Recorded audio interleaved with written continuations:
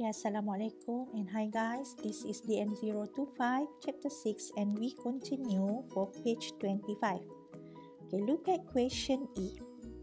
Integration of sine cube x times cos squared x dx. For this question, which one is the power of odd number? Yes, sine x is the power of odd number. So, for you, we will use cos x. Differentiate it. Rearrange back. Okay, but in the question, there is no sine x dx directly. So, we need to split it become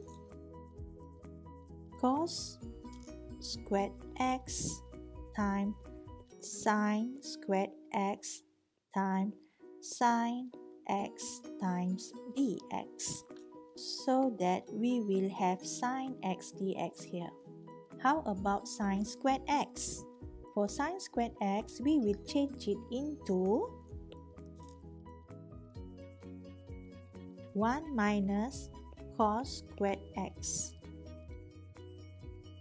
So now we are ready to transform all the questions into u form.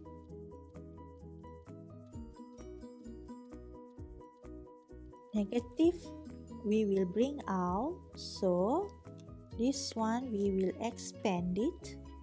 Become u squared minus u power of 4 du. Okay start integrating u cube over 3 minus u power of 5 over 5 plus c.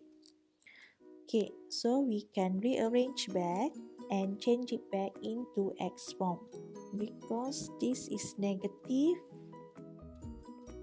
times negative positive so I will write the power of 5 first cos power of 5x over 5 minus cos power of 3x over 3 plus c. Okay, I hope you will try your best to solve question F until 8. Remember, mistakes are proof that you are trying. See you next video. Bye.